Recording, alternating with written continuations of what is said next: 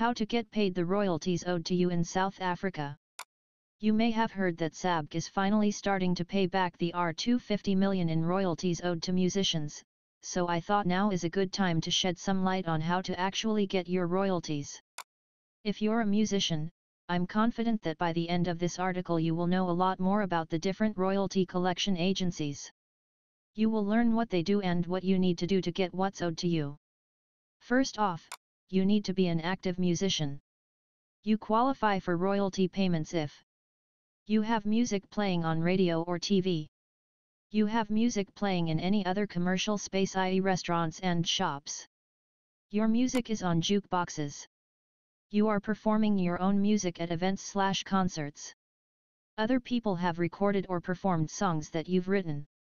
You have helped write someone else's song, or you performed on their song. You have CDs that are selling in music stores, or getting streamed on Apple Music, Spotify, YouTube.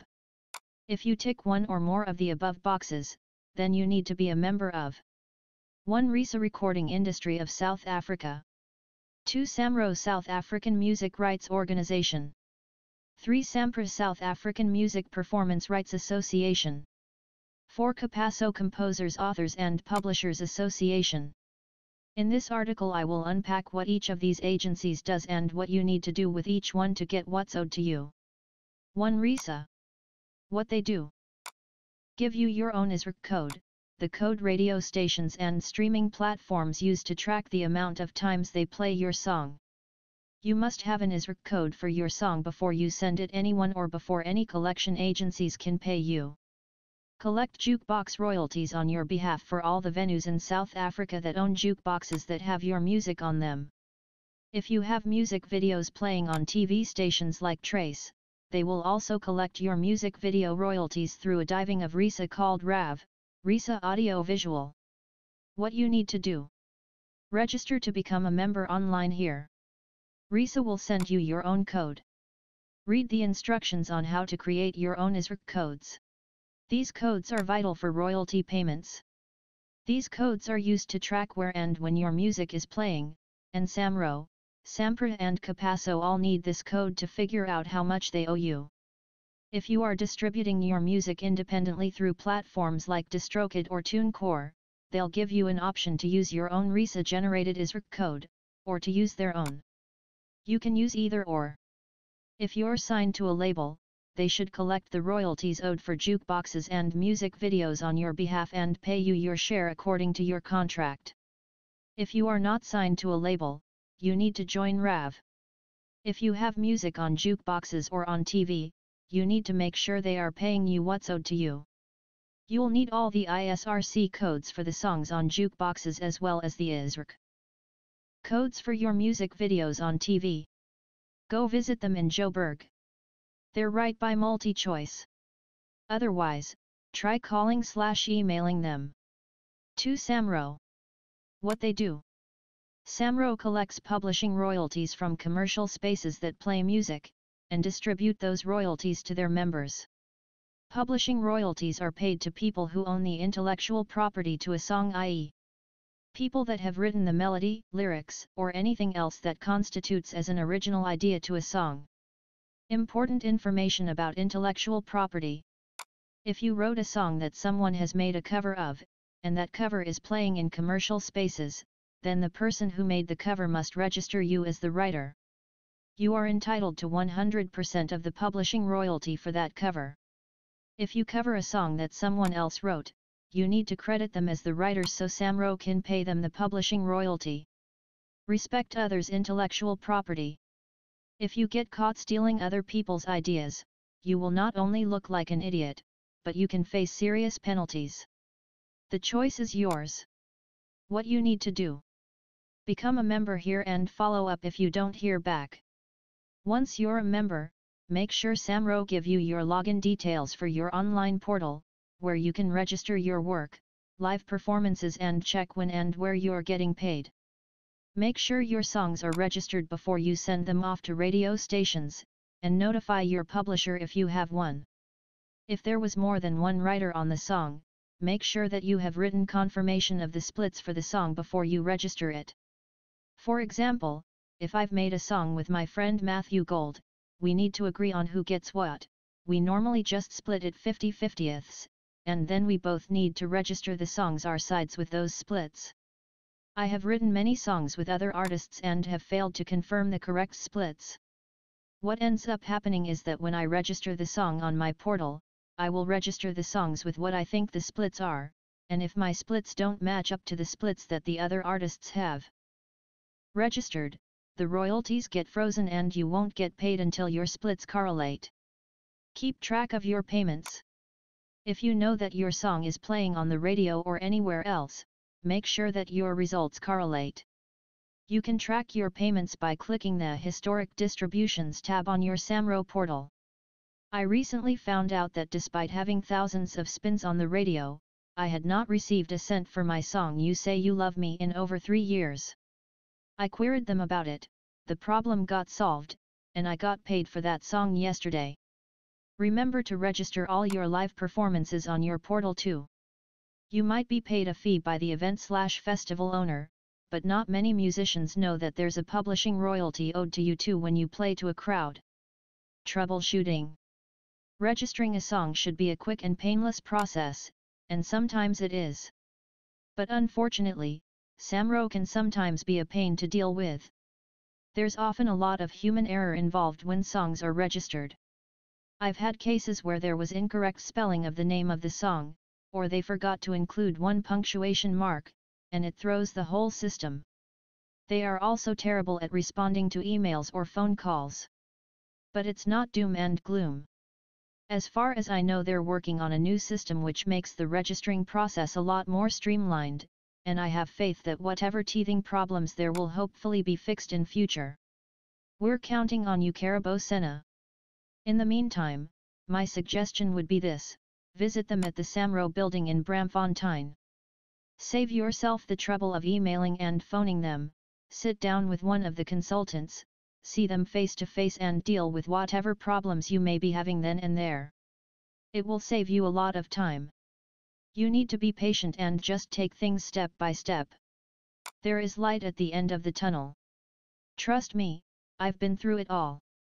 The juice is worth the squeeze. Update, I got hold of Samro's undoc list, a massive 20 MB spreadsheet of every undocumented song i.e. songs that have accrued royalties but has never been claimed, either due to 1. Negligence from the artist or 2. Songs being registered incorrectly, download the undoc list here. If you've had your music played on radio, there's a good chance that some of your work is on this list. If it is, get hold of Samro, give them the name of the song with the corresponding work number and get your royalties for your unclaimed works. Do you need a publisher to deal with your publishing royalties? If you're good at doing admin, and happy to negotiate potential syncs for adverts and movies, then no. If you'd prefer to have someone helping you with this kind of stuff, yes. If you're already signed with a publisher, they should be sorting out Samro admin for you, and actively seeking out sync opportunities for your music. If you have a deal like mine, you'll be paying them around one third of your publishing royalties in return for their service. My experience.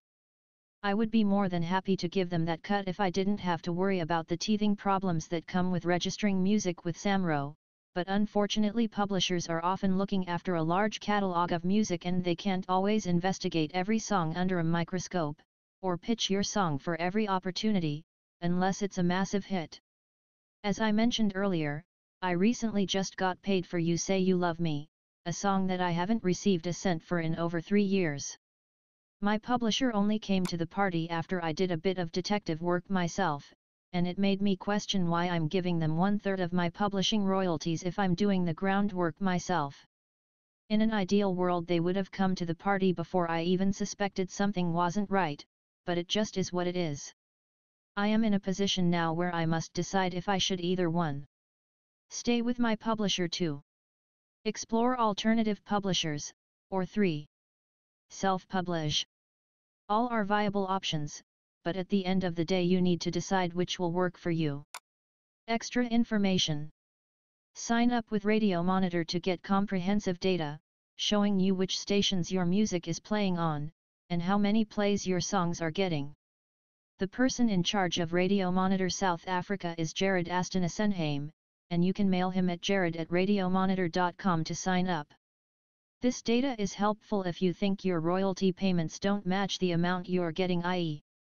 If Samro's only paying you R10 for a song but it's got 1000 plays on radio, you'll have evidence to show them that something's not adding up and they will do a recalculation. Example of Radio Monitor Report Update In February 2020, Samro have recently paid out their members for the last radio distribution, July 2018 June 2019. Since writing this article, I have created another separate article entitled 5 Steps to Making Sure You Get Paid Your Samro Royalties, which goes more into depth about the steps you can take using Radio Monitor alongside your Samro reports to track exactly what you're owed.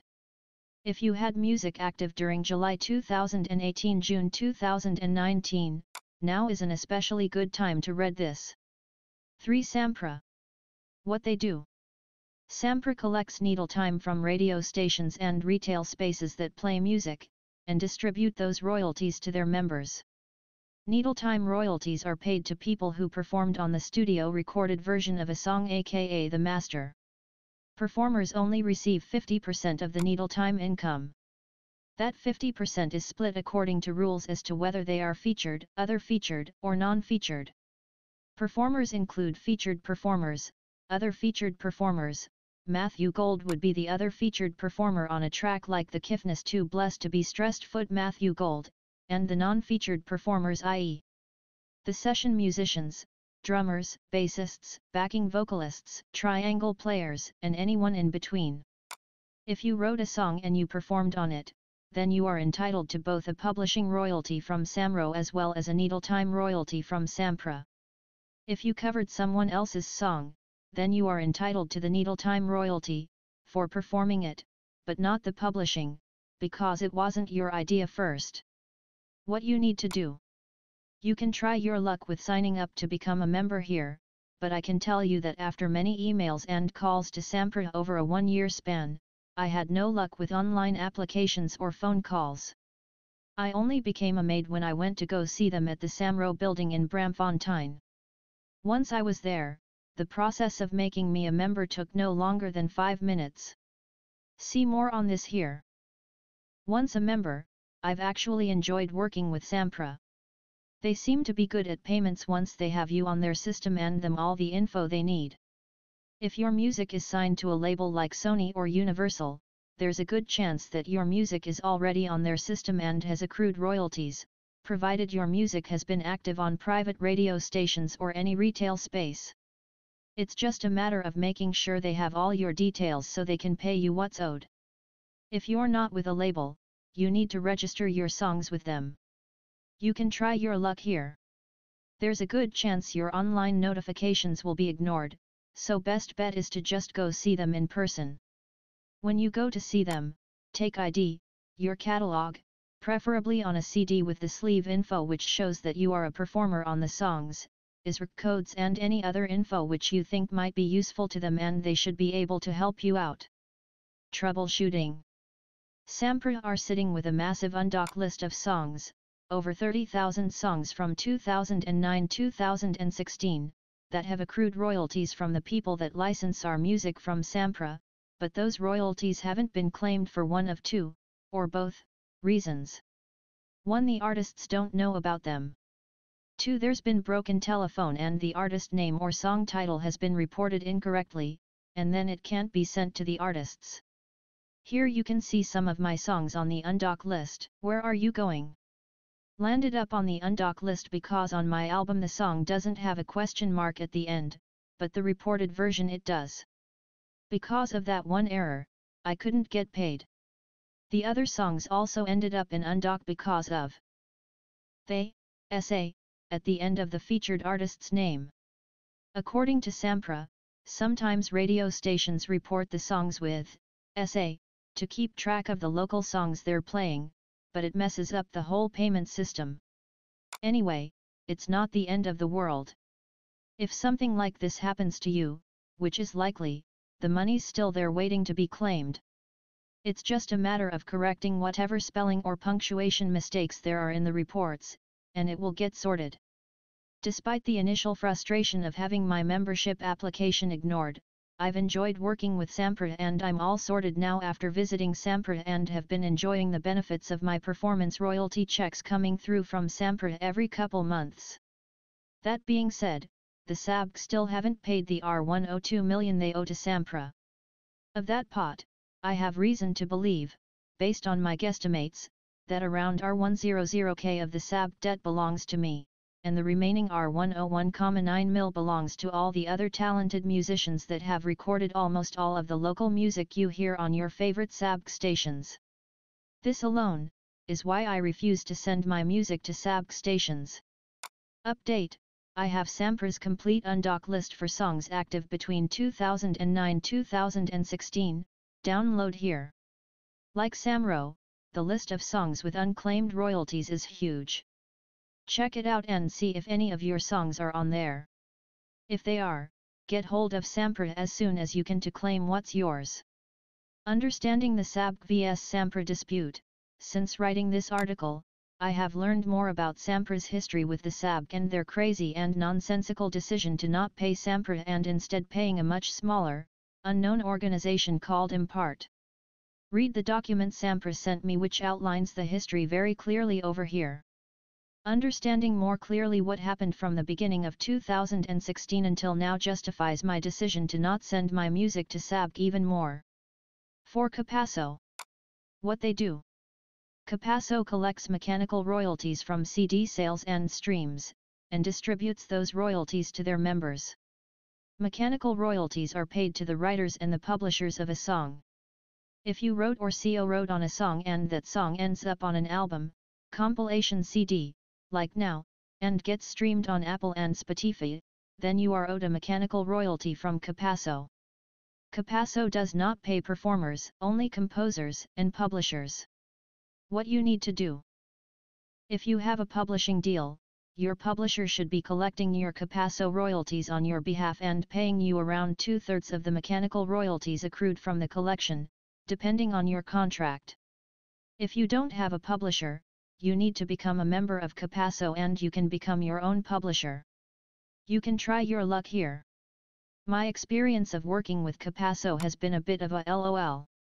Capasso requires a joining fee of R100, which I paid. When I went to go see them in the Samro building at Braamfontein I asked them about the status of my membership. They said I'm not a member, so I told them to check their emails. The lady there found my email and said oh the guy who was meant to make you a member resigned, so that's why you haven't been made a member. I could only laugh because of how ridiculous it was. Anyway, I only later found out that in order to become a member I can't be signed to a publisher, so again I need to decide whether I'm happy to let my publisher take one third of my mechanical royalties, or if I should tackle Capasso myself. Recap Final thoughts if you want to get what's owed to you as a South African musician, you're going to have to accept that it might not be smooth sailing. However, I can tell you with confidence that if you follow my guidelines and you are patient and persistent, you will eventually get what is rightfully yours. I'm also aware that everything I have said is based purely off information that has presented to me during my journey, and I'm open to constructive criticism. If there are any peers or people in the music industry who pick up incoherencies in anything I have said, please feel free to email me at thekiffness at gmail.com, or even just drop me a DM on any one of my social platforms at thekiffness and I will happily update the article so that it can be as accurate as possible and be as helpful to musicians as possible. I need more information. If anyone has any information about the needle time and publishing royalty rate per spin on various radio stations, Please let me know. It's amazing that we have access to the data via radio monitor, but it seems crazy that we don't have access to the information which tells us how much we should be getting paid for each spin. If we had access to that information, it would mean we could hold our royalty collection agencies accountable for the amounts we're getting paid. To the best of my knowledge, on average we should be getting our 100 slash spin on stations like 5FM or 947, but I simply don't have enough information to verify that. Any information regarding this would be greatly appreciated, thekiffness at gmail.com.